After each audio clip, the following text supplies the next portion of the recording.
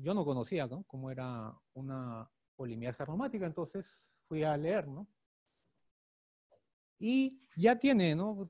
Tenía unos criterios antiguos de, de los 80, ¿no? Pero ya las dos, las dos sociedades, la EULAR y la, y la Americana de Reumatología, ya se han unido para tener criterios ya específicos y sensibles. ¿no? Son del 2012, están de libre acceso. ¿Cuáles son? Obviamente el primer criterio requerido es que sea una paciente mayor de 50 años, que tenga un dolor en hombros bilateral y que tenga BCG o PCR elevados. Entonces, a partir de ahí es que yo recién empiezo a buscar estos criterios. ¿Y cómo comenzó la enfermedad de la paciente? ¿no? Comenzó con un dolor en cuello y un dolor en hombros. Es 65 años y tiene BCG y PCR anormales. Entonces, ¿tiene rigidez matutina? Sí tiene. ¿Tiene dolor en cadera? Sí, comenzó también con un dolor de cadera derecha, pero obviamente al pasar la enfermedad era, era bilateral. ¿Tiene ausencia de factor reumatoide y anti-CCP? Sí. ¿Tiene ausencia de otras articulaciones comprometidas? No, acá sí está comprometido muchas articulaciones. ¿no? Entonces tiene 2, 1, 5. Estos son criterios con ultrasonido, pero también hay criterios perdón, sin ultrasonido, esto también hay criterios con ultrasonido. Estos criterios sin ultrasonido tienen buena sensibilidad, pero la especificidad también es baja. Para usar solo los criterios clínicos necesitamos cuatro, cinco cumpliría, ¿no? Pero igual, ¿no? Con, el, tema del artritis reumatoide, ¿no? La, especificidad todavía es baja. En la ecografía, esto sí es más específico de, y ya está demostrado en varios estudios, de polimialgia reumática versus artritis reumatoide versus otras patologías que son similares. ¿Qué se encuentra? Se encuentra sinovitis de cadera o bursitis trocantérica o bursitis subdetoidea o tenosinovitis de bíceps. Y esto aumenta la especificidad más del 90%. Entonces, esta es una ecografía normal de bíceps. Ese es un paciente que tiene musculatura adecuada, joven, estos son los músculos, el deltoides, los músculos del hombro, y este es el tendón del bíceps.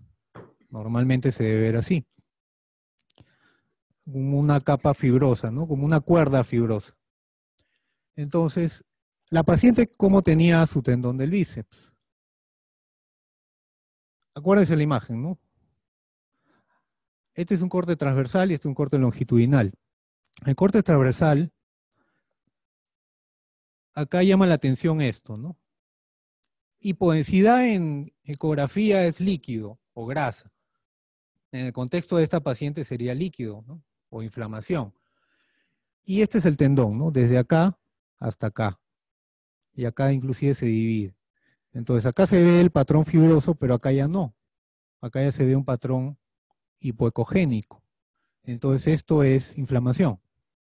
Entonces la paciente tiene tenosinovitis de bíceps izquierdo.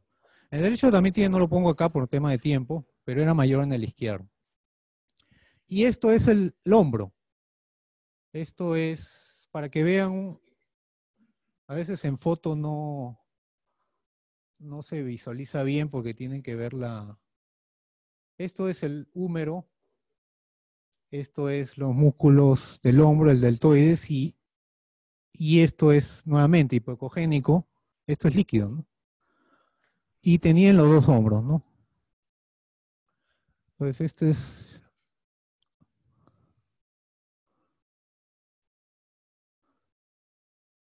Nuevamente, ¿no? Este es el húmero y este es el deltoides y todo esto era, este es del hombro derecho y este es del hombro izquierdo, ¿no?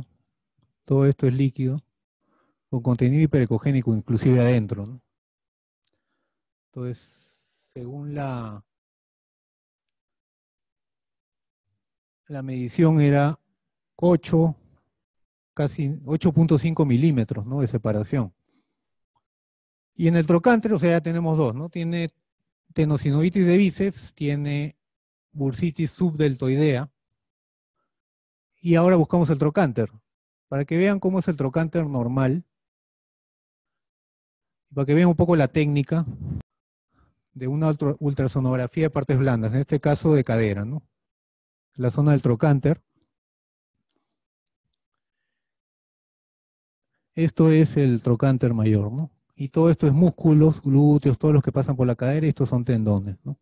Y apenas se debe ver acá una, un poco de, de zonas hipoecogénicas, se puede ser líquido, ¿no?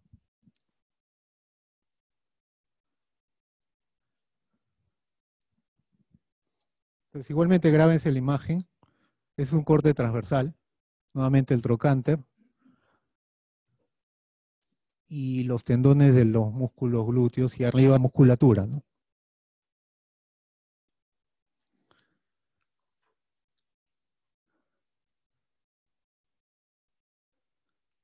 Entonces, ¿qué tenía la paciente? Para comenzar, no tiene atrofia de músculos de esa zona. Este es el trocánter. Y tiene una colección nuevamente hipoecogénica de casi 12 milímetros de, tamaño. Entonces, yendo de nuevo a los criterios de polimialgia reumática, es una paciente mayor de 50 años, comienza con una enfermedad de dolor en hombros, con BCG y PSR elevados, tiene rigidez matutina, tiene dolor en cadera, con limitación para la movilización, la paciente estaba postrada un mes, no podía ni pararse, ni siquiera, era CATS-G, para ser previamente CATS-A, ¿no? Y es lo que más le, le incomodaba a la paciente, ¿no? Tener que sus hijas llevarla al baño, bañarla, hacer, atenderla para hacer sus, sus necesidades fisiológicas. Porque es una paciente totalmente independiente, ¿no? O era una paciente totalmente independiente. Tiene cinco puntos acá y tiene sinovitis de cadera o de trocánter, sí, un punto. Y tiene bursitis subdeltoidea y tenosinovitis de bíceps, sí, un punto, ¿no? Entonces tiene siete puntos acá. Entonces, busqué en PubMed polimialgia reumática, nada más, ¿no? Y en y artritis reumatoide, ¿no? Pues estos son los resultados que hay de polimialgia reumática, poco más de 3.000, y de artritis reumatoide, 140.000, ¿no? ¿Por qué? Porque la artritis reumatoide es más frecuente, o al revés, es más infrecuente la, la reumática. Y en LILAX, igual, ¿no? Polimia reumática, 54 resultados. Y artritis reumatoide, 2, más de 2000. Esta es la tasa solamente en una ciudad de Estados Unidos de, incidencia de polimialgia reumática. Del 2000 a 2014, inclusive sin tener los criterios de ultrasonográficos. ¿Y qué encontraron? Y ellos parten de, de los 50 años, ¿no? va aumentando la tasa de incidencia de 12 a los 50, a 50 a los 60, a, 70, a 150 y 5, 140, lo cual hace un total global de 64 pacientes de incidencia por 100.000 habitantes. ¿Y eso cuánto, cuánto es? Estos son datos de la última encuesta del, del INEI, ¿no? la población adulta mayor es 12% de 31 millones. Entonces, sacando regla de tres simple, deberíamos tener en el Perú más de 2.000 pacientes con polimialgia reumática. Claro, pueden decir, no, esto es en Estados Unidos. Si bien los únicos reportes antiguos que hay son de Europa, por eso siempre dicen que, que allá hay más esto, como ya he visto acá, ¿no? Hay poca información sobre el tema, ¿no? Lo cual no quiere decir que no exista. Esto es en Estados Unidos. Lo único que tenemos que hacer es buscar estos casos de, simplemente, ¿no? Por ponerles un caso, un artritis reumatoide cero negativa, ¿no? O gente que viene acá con capsulitis de hombro, hombro doloroso, o dolor en cadera por artrosis. hay, hay muchas excepciones para este cuadro clínico, ¿no? Obviamente esta paciente llegó, o sea, si se hubiera diagnosticado en enero, no hubiera llegado al estado de incapacidad de, de octubre, noviembre, ¿no? Y esto es en el Perú, ¿no? Polimialgia reumática, o sea, he puesto ahí, polimialgia reumática Perú, ¿no? Un resultado que ni siquiera es polimialgia reumática, ¿no? Sin, en PubMed. Es de del cuadro este que, que vieron, ¿no? De RS3PE, ¿no? Y de artritis reumatoide, 42 resultados. y esto es de, de Lilacs. El último ha sido que menciona polimialgia reumática en el 92, pero ni siquiera es un caso de polimialgia reumática, sino es una revisión de un AINE en, síndrome de hombro doloroso. Y dentro del diferencial obviamente estaba mencionado polimialgia reumática. Pero artritis reumatoide sí hay más. Entonces, ¿es porque no hay o es porque no la buscamos? Entonces, si yo diagnostico a una paciente con polimialgia reumática, el tratamiento ya está, ya está establecido. También está en las guías 2015. Tiene una marcada mejoría, ¿no?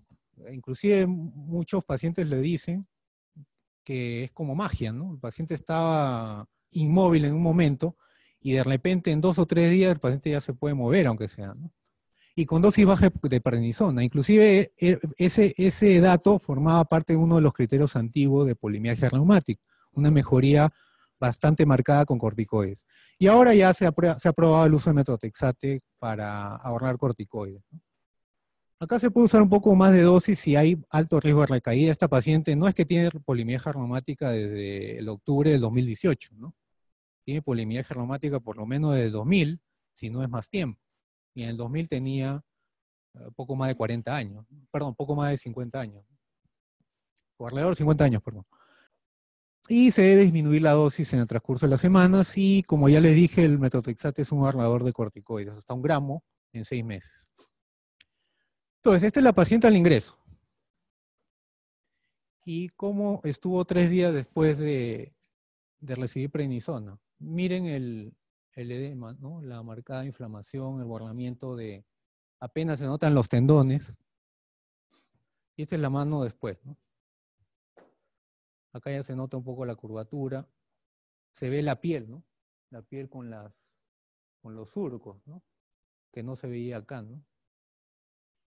Acá ya la paciente había, ella tenía dolor 10 sobre 10, ¿no? Antes de iniciarle prednisona, ¿no? Hasta 8 podía variar entre, entre el día, ¿no? Pero tenía 8 a 10.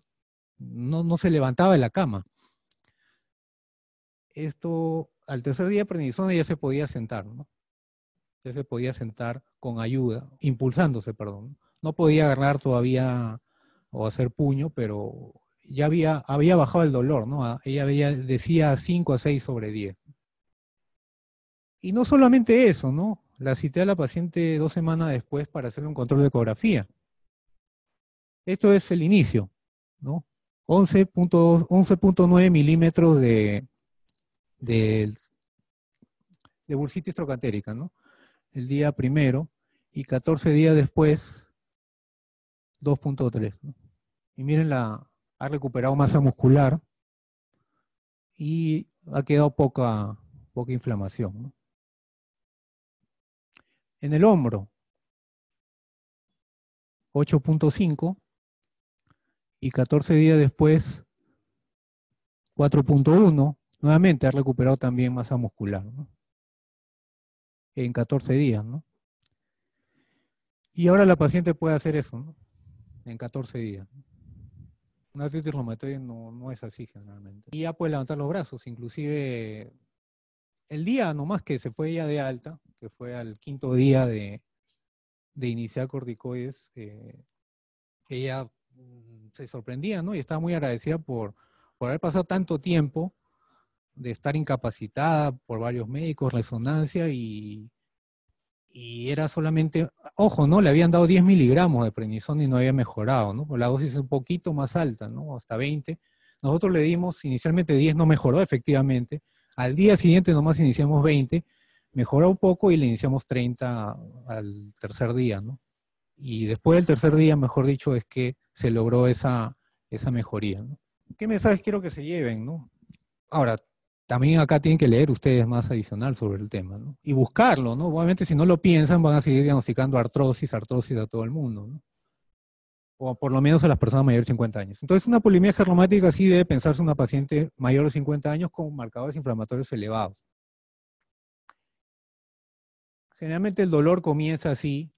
Obviamente si preguntan o ven a la paciente con una poliartritis ya marcada, y no preguntan a lo anterior o cómo comenzó, no van a llegar al diagnóstico, ¿no? Van a pues, decir que esto es una poliartritis nada más y van a seguir metiendo esto como artritis seronegativa, ¿no? Dolor de hombros, cuello y cadera, ¿no? Y ya está descrito, ¿no? En bastante porcentaje hay sinovitis, o sea, sí hay artritis en, en la polimia gernomática.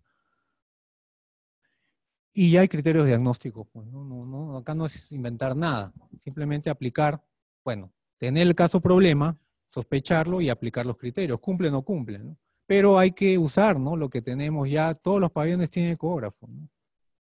Ya más de un año, de octubre del año pasado. Pero, bueno, ya depende de ustedes si tienen tiempo y tienen las ganas de hacer ecografía a todos sus pacientes, pero por lo menos a los que ameriten, ¿no? A los que ameriten, que haya duda diagnóstica, etcétera, etcétera, agarrar el ecógrafo, ¿no? Y en particular, si sospechamos un caso de polimialgia reumática, buscar bursitis trocantérica, tenosinovitis de vices y bursitis sulcetoidea. Y si diagnostican, tratar con prednisona y metrotexate.